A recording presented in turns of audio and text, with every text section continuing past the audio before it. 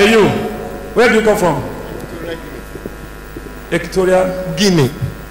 Equatorial Guinea. Equatorial Guinea. Guinea. Yeah, but I'm a Ghanaian. I'm a missionary. Guinea Busha. Guinea one, okay, one Guinea Busha, one is Equatorial Guinea. Equatorial Guinea. Yes. Okay. You just enter Nigeria I came last Monday. last Monday. Yes. Or why are they fighting you? Huh? You are correct.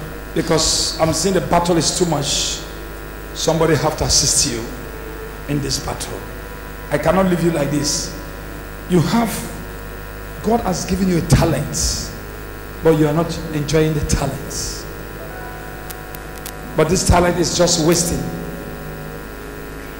And now you are getting older and older. Are you hearing me?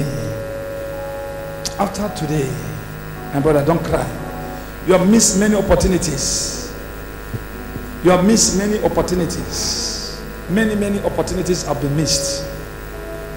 But I want this one, the ones of this year, I don't want you to miss them anymore. Are you hearing me?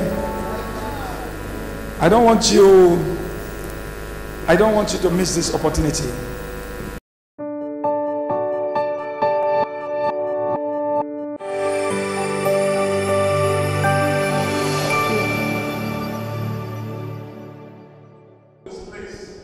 So welcome to Christ Mercyland Deliverance Ministry. Tell us your name and where you're from. My name is Pastor Max Johnson. I'm coming from Equatorial Guinea. During the course of the service, the man of God located in the congregation and he prophesied to you. Can you please tell us the words of his prophecy to you?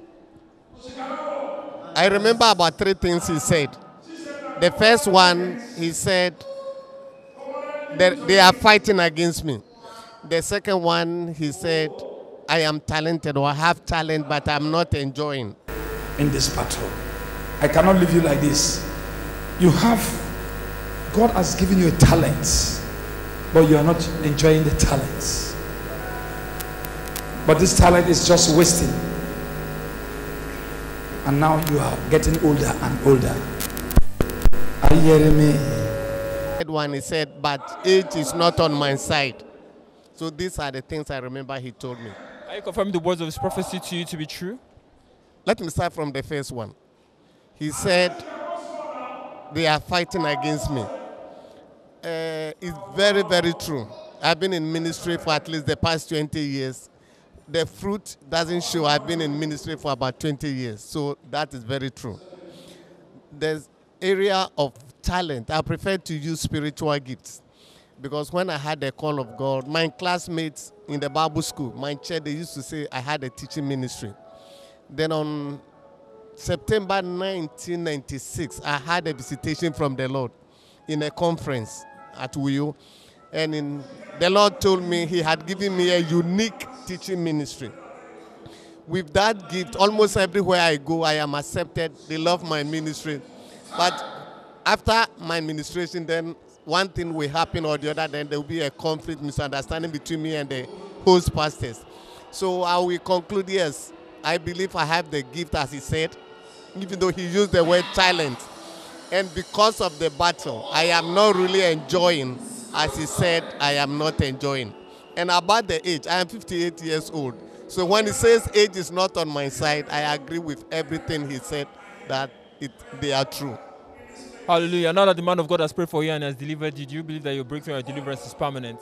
Yeah, I came here purposely for this. Uh, and I'm glad the Lord located me. So I accept that this is my year. And He used His servant to help me enter my breakthrough. So I believe everything is okay and I will come and share testimony. Hallelujah. What is your word of advice to viewers as someone who are watching right now who are passing through one challenge or the other? As a pastor who has been in ministry for about 20 years without show, having fruits to show, many a times you may be tempted to do what you shouldn't do, whether diabolically or using tactics that are not godly. I think I will advise anyone in ministry who has not seen success to be patient. In the Lord's time, and He makes everything beautiful. That would be my advice. So I will thank the Lord for your breakthrough and your deliverance and will believe that it will be permanent in the name of Jesus. Thank you, Jesus. Amen.